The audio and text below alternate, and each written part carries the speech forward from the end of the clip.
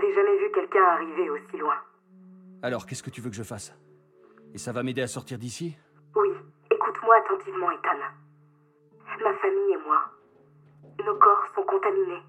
Je ne peux pas quitter la résidence tant que je suis infectée. Et c'est pareil pour Mia. Est-ce qu'il y a un antidote? Il nous faut le sérum. Ça devrait éliminer ce truc qu'on a dans le corps. Du moins, tant qu'il n'est pas trop tard. D'accord. Où est-il? Je serais déjà partie d'ici. Mais je crois que ma mère l'a caché quelque part dans la vieille maison. Donc, si on le trouve, je pourrais aider Mia et on pourra sortir. Oui. Et moi aussi. La vieille maison est au bord de l'eau. Tu ne peux pas la rater. Ok.